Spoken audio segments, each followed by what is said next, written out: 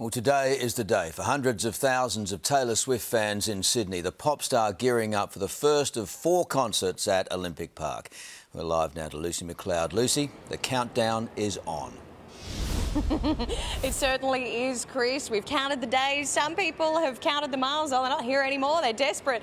Uh, we've seen some fans flock in this morning on last minute flights, and I think they're headed straight to those merch tents. We've seen hours and hours long queues. We also know of some people who have spent $14,000 in just one transaction. They've been busy, these Swifties. They're preparing, but so has Taylor Swift.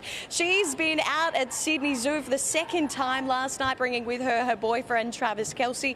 We're expecting him to attend the concert tomorrow, too, after he touched down uh, yesterday. And while they will be driven in by some very nice cars, everybody else attending is encouraged to take public transport. The traffic is going to be intense, especially as Blink 182 performs there as well.